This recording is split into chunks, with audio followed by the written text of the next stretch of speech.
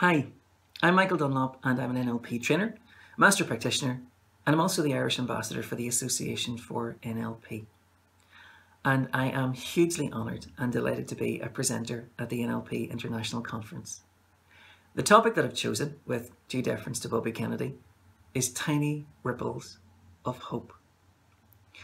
On the 6th of June 1966, at the University of Cape Town in South Africa, Bobby Kennedy gave what is often considered to be one of the greatest speeches of all time, speaking to an audience yearning for change and a better future, yet feeling powerless in the face of an enormous oppressive system. Kennedy reminded them that each time we stand up for an ideal, or act to improve the lot of others, or strike out against injustice, we send forth a tiny ripple of hope and crossing each other from a million different centres of daring and energy, those ripples can build a current which can sweep down the mightiest walls of oppression and resistance.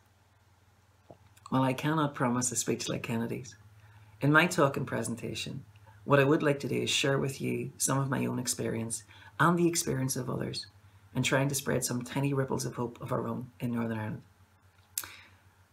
When I started out as an NLP practitioner and master practitioner, we had lost our amazing daughter, Orla, to a rare immune condition. And I wanted to change the world. And I thought with the skill set I had available through NLP, I had just the tools to do that. And then I discovered, as many NLP practitioners do, that often the world doesn't particularly want to be changed, at least not in the way that we want or how we think it should be changed. And I'd like to share some of that journey with you. In particular, when I mentioned NLP, I often found skepticism, sometimes resentment, sometimes hostility in academia, in healthcare, in education. And after a number of bruising experiences, that's when I had to go back to the drawing board and to rethink things. And my experience has been that often it's not the big things that actually make a difference. Often it's the little things, done well and with integrity. It's about meeting people where they are. It's about match, pace, and then lead. And in my talk, I'd like to share some of that experience with you. I'd also like to introduce you to the work of some amazing people who are spreading their own ripples and making a difference in our society. People like Paddy Cordell, who's doing amazing work in schools in Northern Ireland with the Art of Brilliance, and who won the NLP in Education Award in the UK.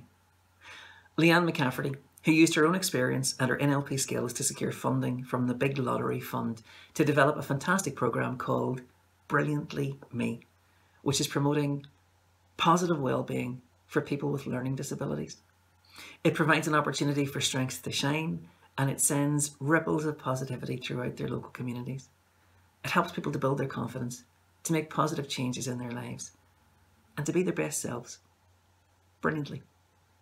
Lynn McKeown, he works with vets, GPs, dentists, optometrists, and the amazing work that she does in healthcare, which earned her a nomination for the NLP in Healthcare Award. I would also like to share with you some of her own experiences working with the Brilliant Chief Executives Forum. They're the umbrella body for chief executives and senior staff of public sector bodies in Northern Ireland. They cover the civil service and its executive agencies, local government and non-departmental bodies. In total, it has some 130 member organisations, which represent hundreds of thousands of stakeholders. The Forum's vision is to contribute to building a better future for all in Northern Ireland. The Forum and its inspirational director, Anne Dixon, recognised the benefits that NLP could offer public sector leaders in areas such as outcome thinking, improved communication, and managing their own emotional states in what are often very challenging circumstances. They also recognised that NLP could be used to support the use of outcome-based accountability in implementing the, the Northern Ireland Programme for Government.